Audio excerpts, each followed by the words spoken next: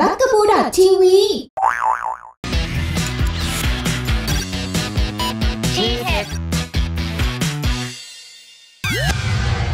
สวัสดีครับคุณผู้ชมครับ ช่วงทีรีวิววันนี้นะครับที่มีแท็บเล็ตราคาประหยัดครับมาฝากกันนะครับ ซึ่งตัวนี้ขอบอกว่าราคาไม่แรงครับ เพราะมาพร้อมกับราคาค่าตัวที่ 5,990 บาทเท่านั้นเองนะครับ ซึ่งมาพร้อมกับ Android 5.1 Lollipop ในตัวเครื่องเลยนะครับ คือเจ้าตัวนี้ครับ Acer Iconia One 8นั่นเองครับ ตัวนี้ครับนี่ ซึ่งจุดเด่นของเขานะครับเขาบอกมาว่าฝาหลังด้านนี้ครับ จะทำให้เราจับถนัดมือมากยิ่งขึ้นและที่สำคัญ มาพร้อมกับสีถึง 10 สีนั่นเองนะครับ ใครที่ชอบสีสันสดใสน่าจะชอบแน่นอน ส่วนสเปคโดยรวมครับ มาพร้อมกับ Android 5.1 นะครับ Octa Core นะครับ แล้วก็กล้องหน้าเนี่ย มาพร้อมกับความละเอียดระดับ VGA นะครับ กล้องหลังความละเอียด 5 ล้านพิกเซลนั่นเอง ก็จะสังเกตได้ว่าความละเอียดของภาพสเปคต่างๆเนี่ยอยู่ในแท็บเล็ตระดับกลางเท่านั้นนะครับอาจจะไม่ใช่ตัวท็อปอะไร แล้วส่วนหน้าจอมาพร้อมกับหน้าจอขนาด HD ครับความละเอียดระดับ HD นั่นเอง แล้วก็เป็น wide angle viewing ด้วยคือเหมือนมองได้มุมมองกว้าง แต่จากที่ลองใช้มานะครับมุมมองภาพอาจจะยังไม่ได้กว้างอย่างที่โฆษณามากเท่าไหร่เพราะว่าถ้าเราลองมองมุมจากด้านข้างด้านอะไรอย่างเงี้ยสีในจอของจอภาพเนี่ยจะดูดรอปลงพอสมควรครับจะดูมืดกว่าความเป็นจริงเดี๋ยวจะลองทำให้ดูนะครับเนี่ย ถ้าเกิดเราดูจากข้างๆนะครับ สีจะค่อนข้าง drop ไปพอสมควร ซึ่งก็โอเค ถ้าเกิดเราเล่นทั่วไป โดยการ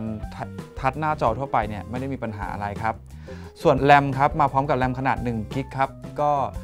ถ้าใช้เล่นอินเทอร์เน็ตทั่วไปเล่นโซเชียลมีเดียต่างๆทั่วไปครับก็ไม่มีปัญหาอะไรแต่ว่า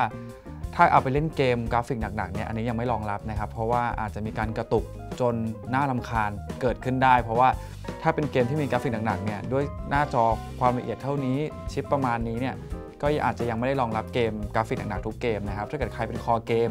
ก็อาจจะต้องมองข้ามตัวนี้ไป แต่ว่าถ้าเกิดคุณเป็นคนหนึ่งซึ่งมองหาแท็บเล็ตไว้แค่เล่นเน็ตดู YouTube เล่นโซเชียลมีเดียต่างๆ ตัวนี้ถือว่าค่อนข้างคุ้มค่ามากทีเดียวเพราะว่าด้านหลังครับ สังเกตว่าจะมีช่องใส่ micro SD card นะครับสามารถเพิ่มได้ ซึ่งก็คือเป็นจริง ๆ มันเป็นเหมือนข้อดีแหละ เพราะว่าสามารถเพิ่มหน่วยความจำเนี่ยได้สูงสุดถึง 128 กิกนะครับ ก็ดูหนังฟังเพลงใส่อะไรเข้าไปกันได้เต็มเลยทีเดียว ส่วนจริงสเปคโดยรวมถือว่าไม่ได้มีอะไรแปลกใหม่ในตลาดตอนนี้นะครับ ซึ่ง Acer เนี่ยเขาออกมาเขาบอกว่าต้องการเจาะตลาดที่เป็นกลุ่มลูกค้าที่อาจจะใช้งานระดับเบาบางทั่วไป ไม่ใช่เน้นกราฟิกหนักๆนะครับ เช่นการเล่นเข้าเว็บต่างๆ เดี๋ยวลองเข้าให้ดูว่าลื่นไหลแค่ไหนนะครับ ก็นี่ครับเดี๋ยวลองเข้า เนี่ยสังเกตได้ว่า ก็ถือว่าค่อนข้างเร็วครับ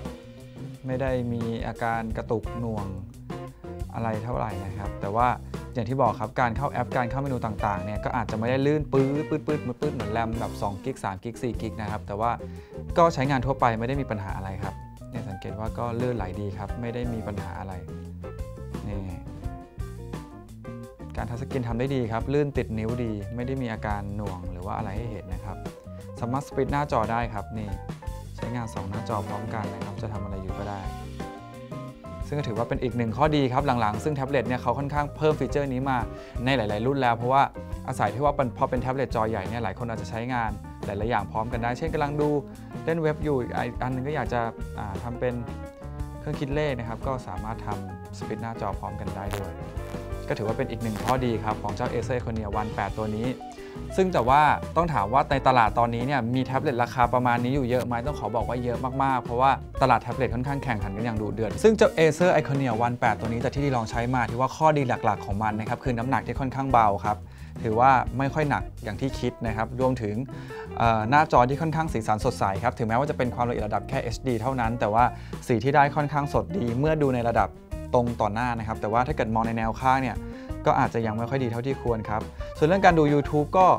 ลื่นไหลทั่วไปครับไม่มีปัญหาอะไรสังเกตว่าการเข้าเมนูต่างๆเนี่ยยังลื่นไหลติดมือดีครับไม่ได้มีอาการหน่วง เพราะว่าบางคนจะมองว่าเดี๋ยวนี้สเปคมือถือสเปคแท็บเล็ตทั่วไป เข้าไปกันแรม3กิกแรม4กิกกันแล้วเนี่ยแรม1กิกจะยังช้าไปไหม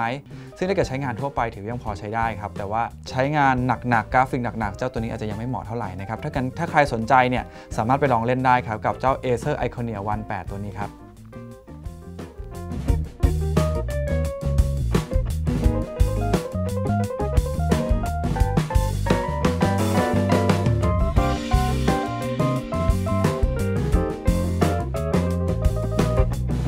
ำหรับเจ้าตัวนี้นะครับทีให้ 6 ครับ